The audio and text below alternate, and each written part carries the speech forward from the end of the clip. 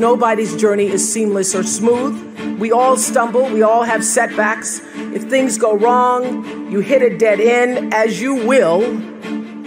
It's just life's way of saying, time to change course. So ask every failure. This is what I do. Every failure, every crisis, every difficult time, I say, what is this here to teach me?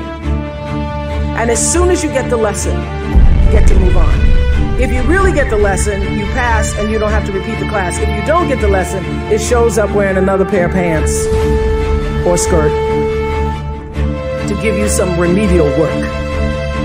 And what I found is that difficulties come when you don't pay attention to life's whisper. Because life always whispers to you first, first. And if you ignore the whisper, sooner or later you'll get a scream. Whatever you resist persists, but if you ask the right question, not why is this happening, but what is this here to teach me? What is this here to teach me?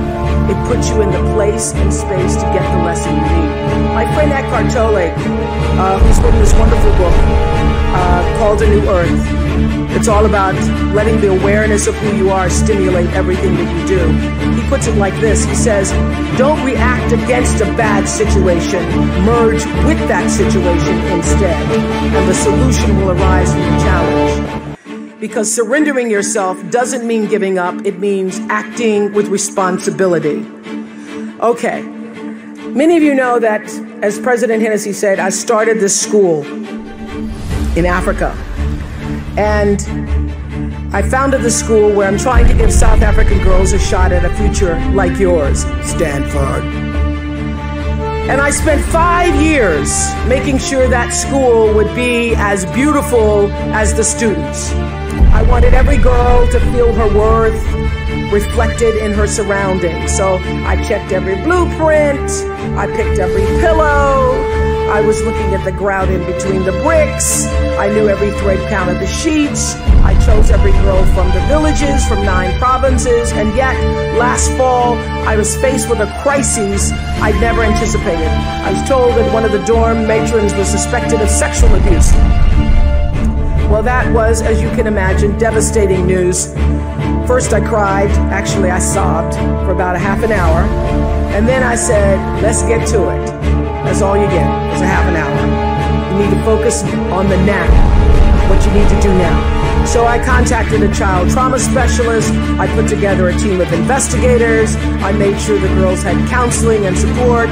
And Gail and I got on a plane and flew to South Africa.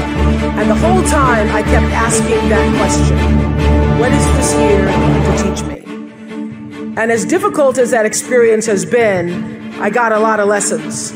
I understand now the mistakes I made because I had been paying attention to all of the wrong things. I built that school from the outside in when what really mattered was the inside out. So it's a lesson that applies to all of our lives as a whole. What matters most is what's inside. What matters most is the sense of integrity, of quality, and beauty. I got that lesson. And what I know is, is that the girls came away with something too. They've emerged from this more resilient and knowing that their voices have power. For other people's children, what they were not able to do for their own boy. The lesson here is clear, and that is if you're hurting, you need to help somebody else ease their hurt. If you're in pain, help somebody else's pain. And when you're in a mess, you get yourself out of the mess, helping somebody out of theirs. And in the process, you get to become a member of what I call the greatest fellowship of all the sorority of compassion and the fraternity of service. The Stanfords had suffered the worst thing any, any mom and dad can ever endure, yet they understood that helping others is the way we help ourselves. And this wisdom is increasingly supported by scientific and sociological research. It's no longer just woo woo soft skills talk. There's actually a helper's high a spiritual surge you gain from serving others. So if you want to feel good, you have to go out and do some good. But when you do good, I hope you strive for more than just the good feeling that service provides, because I know this for sure that doing good actually makes you better. So, whatever field you choose, if you operate from the paradigm of service, I know your life will have more value and you will be happy. I was always happy doing my talk show, but that happiness reached a depth of, of, uh, of fulfillment, of, uh, of joy that I really can't describe to you a measure when I stopped just being on TV and looking at TV as a job and decided to use television, to use it and not have it use me, to use it as a platform to serve my viewers. That alone changed the trajectory of my success. So I know this that whether you're an actor, you offer your talent in the way that most inspires art. If you're an anatomist, you look at your, your gift as knowledge and service to healing. Having compassion for other people is at the top of that list.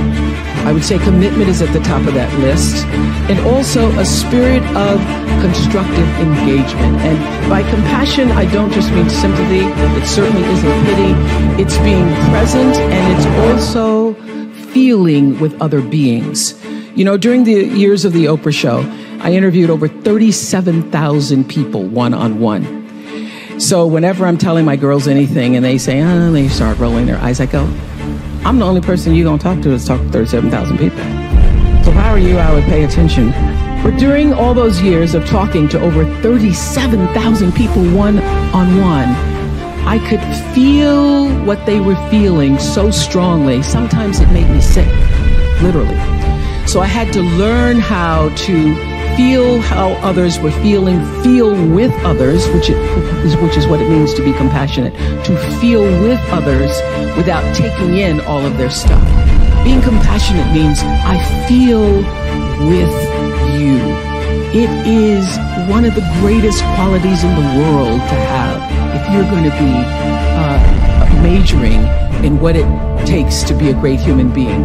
I feel with you means I not only am willing to walk in your shoes, it means my heart beats with yours.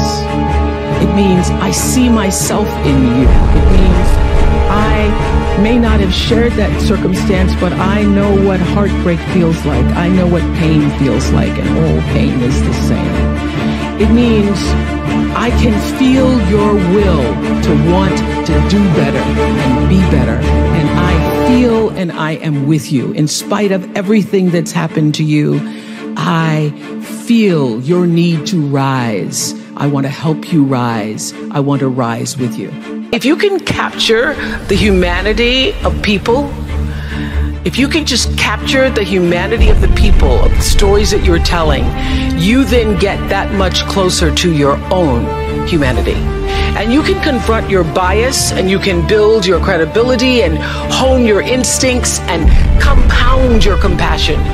You can use your gifts, that's what you're really here to do, to illuminate the darkness in our world. So many people are worried about building a brand. I hear kids on social media talking about their brand. And I used to really resent the word when people would say to me, oh, you have this brand, because I never, never even thought about a brand. I just thought about day in and day out making the best, right choice for me. But now I embrace it because I recognize people see me as a brand. Eh, but for me, it's not a business. It is a question of what do you stand for? And I will say this, you're nothing if you're not the truth. So I have made, I've made a living. I've made a living. I've made a life. Made a fortune. Really, it's fantastic. All good from being true to myself. And, and, that's the. If I could leave you with any message today, that is it. Uh, the biggest reward is not financial benefits, though it's really good. You can get a lot of great shoes. Nothing wrong with great shoes. But those of you who have a lot of shoes know that having great shoes and a closet full of shoes or cars or houses or square footage doesn't fill up your life. But living a life of substance can. Substance through your service, your offering of your whole self. And the baseline for how do you live a life of substance is whatever is the truth for you? What do you stand for?